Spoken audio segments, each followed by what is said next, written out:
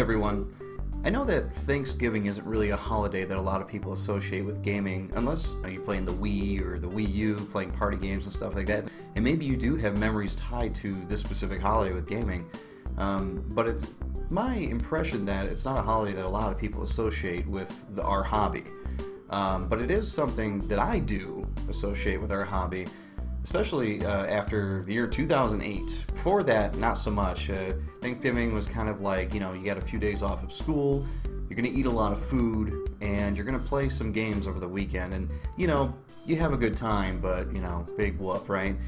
2008, though, was a special year for me. It was the first year that I got a job where I was able to completely support myself in every way, shape, and form. I moved out, was able to buy myself an Xbox 360. Like, the whole thing was going great. So we'll start with October 2008. You know, Halloween had come around and Fallout 3 was released, and Fallout 3 was and is a great game.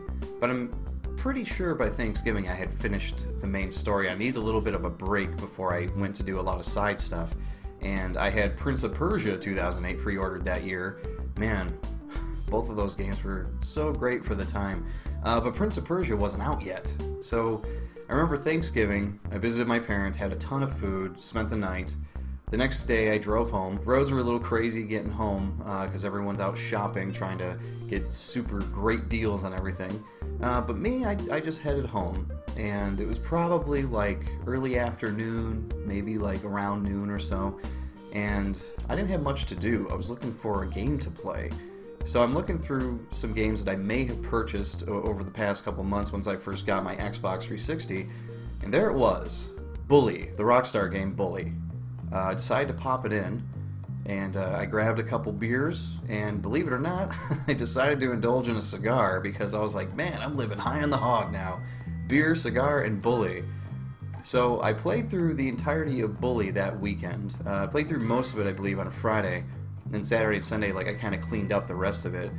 But wow, I was completely blown away. So when Thanksgiving comes around, I always think of that Black Friday where I played through most of Bully, and I have uh, a box of cigars that I try to have whenever Thanksgiving because the smell of that cigar reminds me of sitting down playing that game, and I had such a great time. Um, I don't know. There, there's something to be said for smells making you remember things. That cigar smoke always makes me remember the music in the game. The music is so great in that game. The, the, game itself is a ton of fun. I really hope that they do a sequel for it sometime. So, yeah, I wanted to share this with you all in hopes that maybe some of you would share some of your Thanksgiving gaming memories and hopefully prove me wrong. Maybe Thanksgiving is a big holiday for all of you and uh, your hobby. I mean, our hobby, I should say. We, we love gaming, right?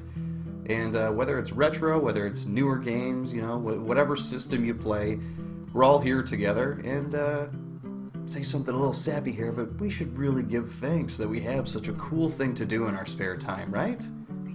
Okay, maybe that's a little over the top, but you get what I'm saying. I hope you all have a great holiday, and I will see you later. Bye.